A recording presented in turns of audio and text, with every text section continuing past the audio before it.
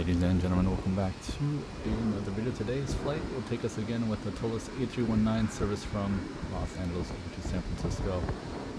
Um, it is a one hour and actually a 49 minute flight, and uh, yeah, I installed latest Toliss updates as well as the IAE uh, sound pack for from BSS and the IAE engine mod, as you guys can see here. So we're gonna be rocking a fully modded uh, A319 and uh, yeah, let's get started. Masters off, most like normal, the usual stuff. Weather radar off, predictive windshear system off.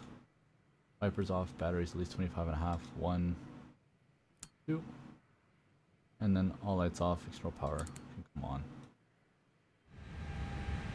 Alright, so we're going to continue with the APU fire test.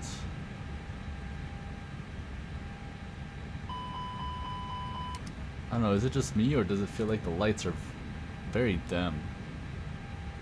I feel like this has been an issue since the update, but I can't put my finger around it whether it's something else.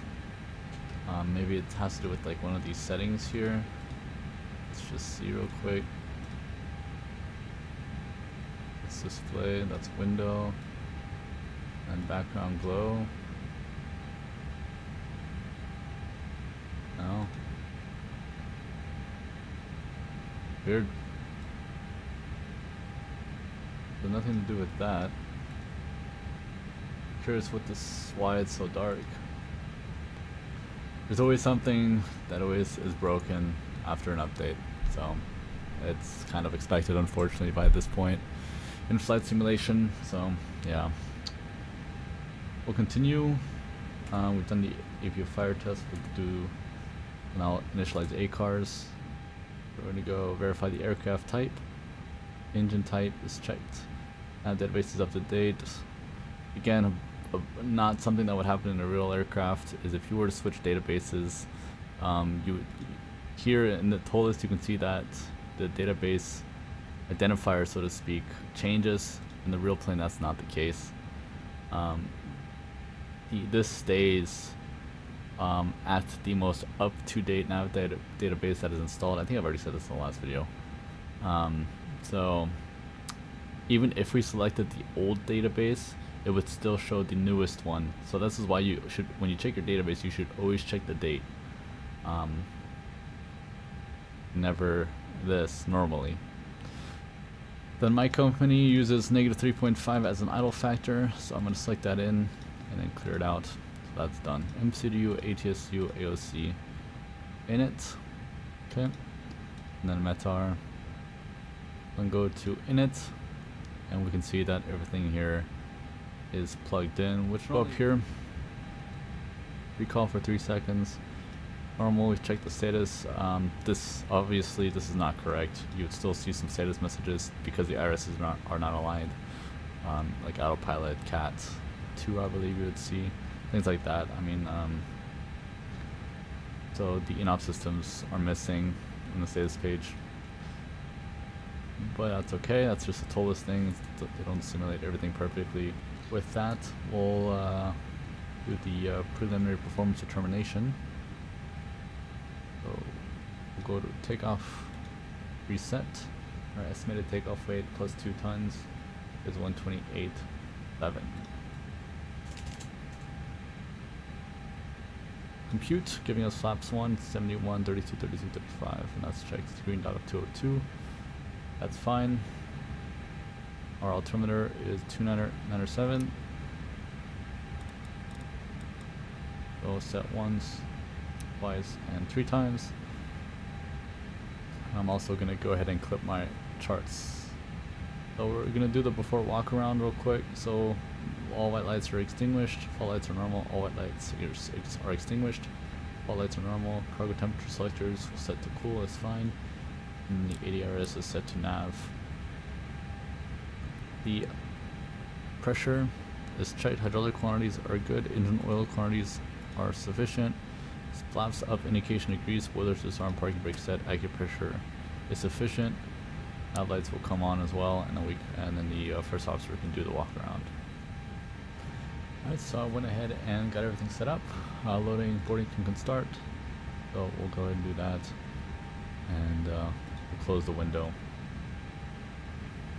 We'll continue with the overhead scan.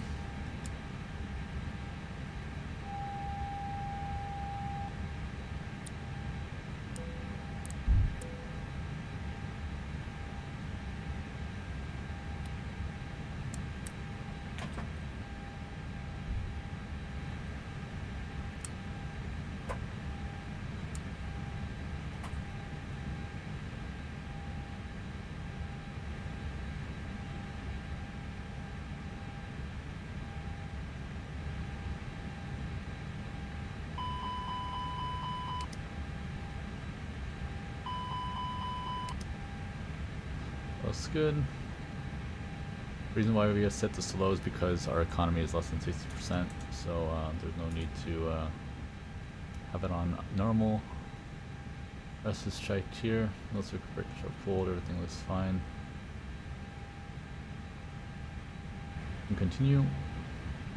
This is all checked.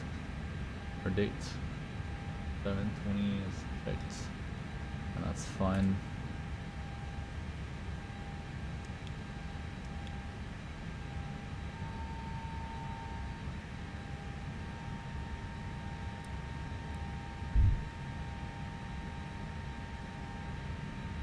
Either are sets.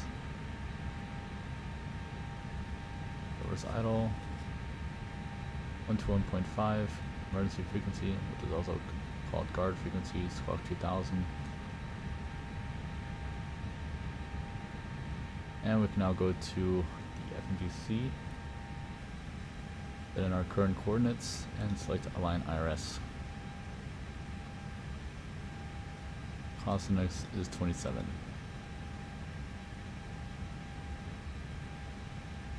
Archer 2 5 right. Number 2. Stoked transition. Insert. Arrival. We're going to go for a GLS approach. Surfer 4. Yeah, Eddie. Insert. Our alternate flight plan is runway 28 right. Truck in 2. Truck in transition.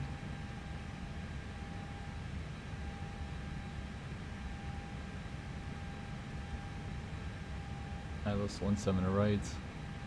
PCR 2. Novio for now. Insert.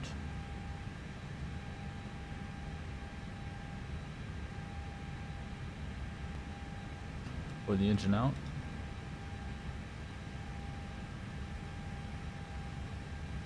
Tracking 251 until 25 miles and holding there. That's done and set.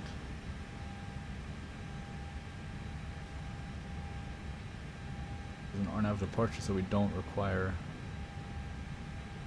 anything here.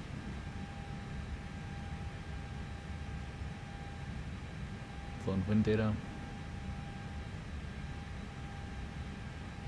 Second page. At 15.4. 3%.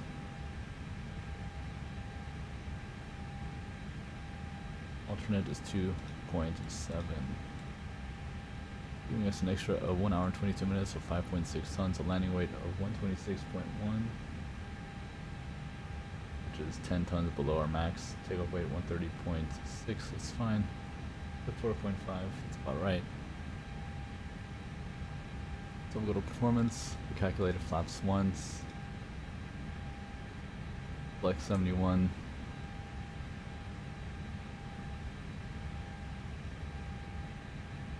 And 135. 18,000 is checked. 1630 NADP 2, 1630 and 1700. Case of a return,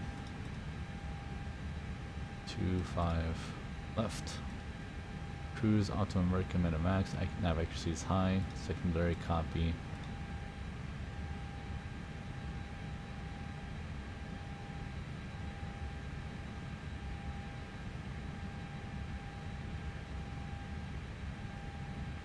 Insert.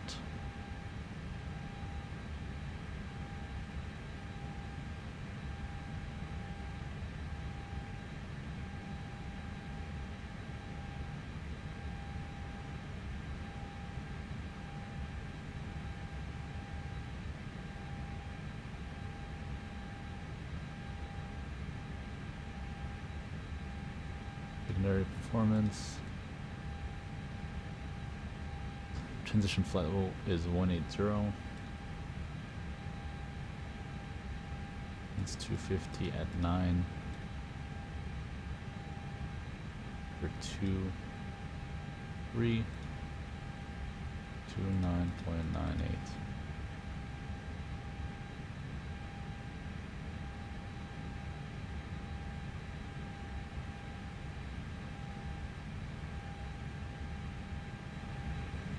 Okay, that's done.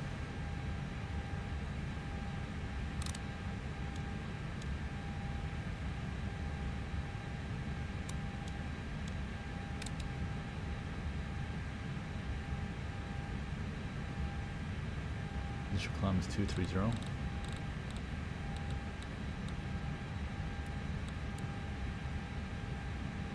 It's done. Oxygen test not simulated. Climb now to 23,100 flight level 231. Altitudes checked, cross-checked. Else looks good, 2997, this is all checked. For pressurization, close for elevation, which it is. It is, it should be normal, which it is. That's good to go.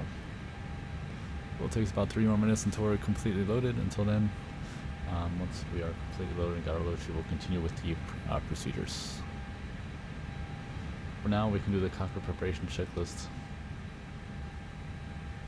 So, gear pins and covers removed, fuel quantity 15.4 tons and balanced. You only require 11.4. Seatbelt signs are on. Gears are nav. And barrel 129er, 907 set.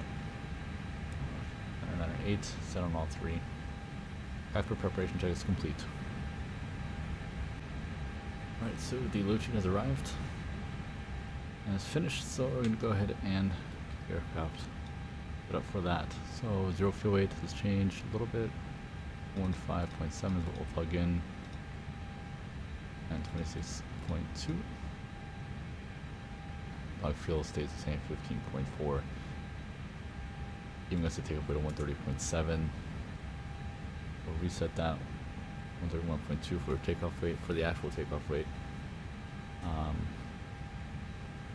it's all checked. We're gonna go two niner, niner five, after two niner, Pute, Ops 1, 51, sorry, 71, 32, 32, 36. This is fine. And up one. If it's within one knot, it's checked, it's fine. Okay. Put the APU.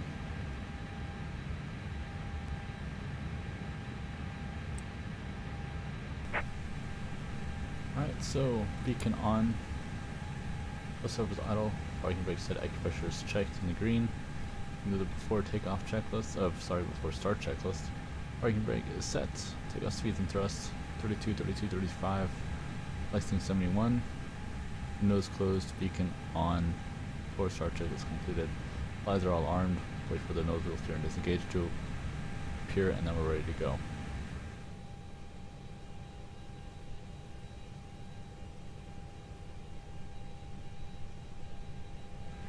Welcome aboard, Captain. Toes connected, bypass pins inserted. Go and kill the parking brake when you're ready to go.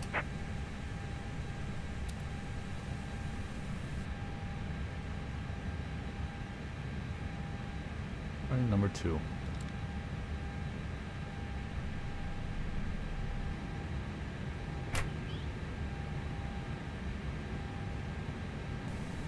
Starting one.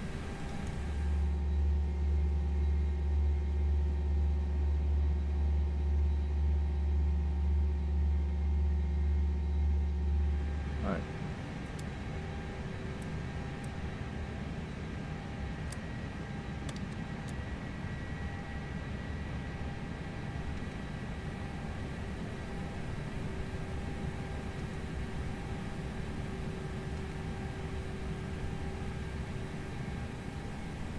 Anti-ice is off. You can set this as checked.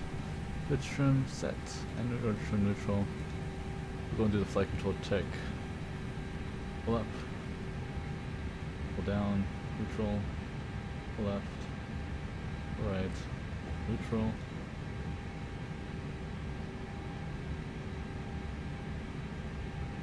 Up. Left. Control check complete. Alright, clear left, clear right. Said they're taking the wrong runway, so we're just gonna ignore that. Problem with AI traffic is they like to go with they they go by wind. Normally, although the wind's actually in our favor, but still they kind of go by wind. And the real procedure is actually to go runway 25 at all times, or 24. Alright, clear to line up.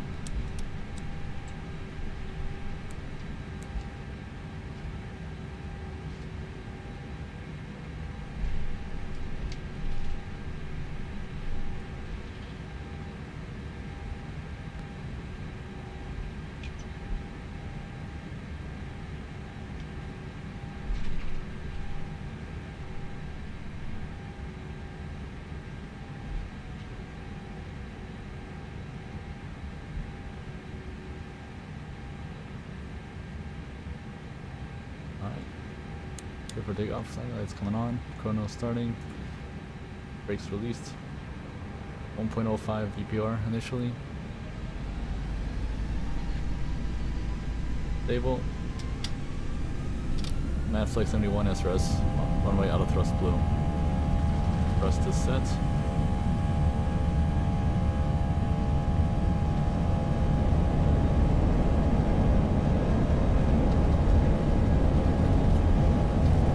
One hundred.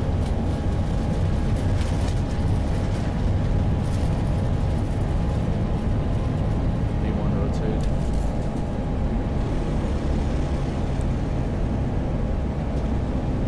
Right, you guys coming up. Nav.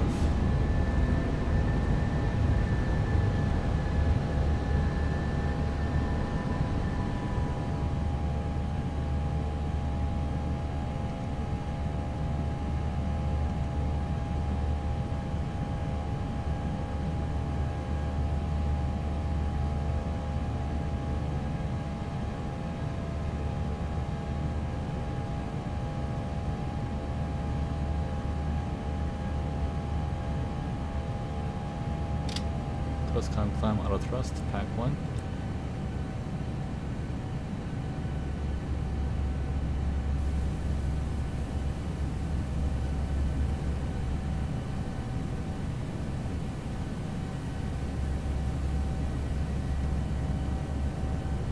And pack two.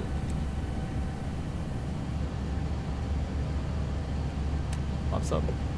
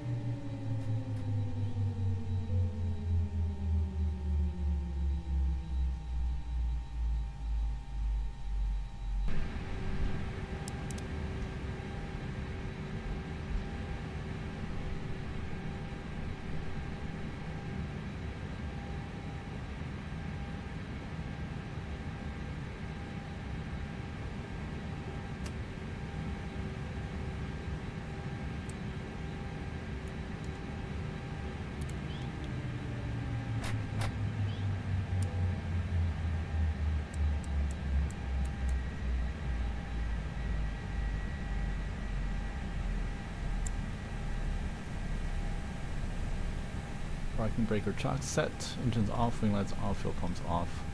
Parking checklist is completed. Alright, so welcome to San Francisco with the Toliss A319. I hope you guys enjoy the flight. Until then, see you in the next video, and peace.